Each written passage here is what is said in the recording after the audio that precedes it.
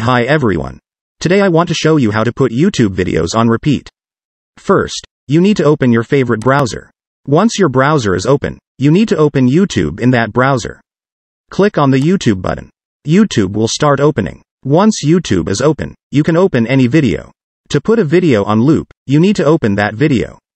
For example, I am opening this video. Once the video loads, you just need to right click on the video. After right clicking on the video, a format menu will open. In that menu, you need to set the loop button at the top. After clicking, let's see if this video is on loop or not. For this, I am bringing this video to the end. After going to the end, let's see if it repeats again or not. Let's wait.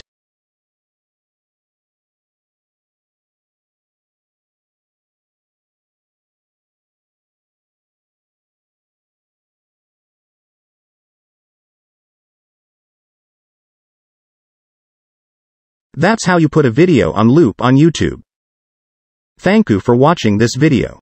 If you want to watch more videos like this, please subscribe to this channel, and don't forget to like it.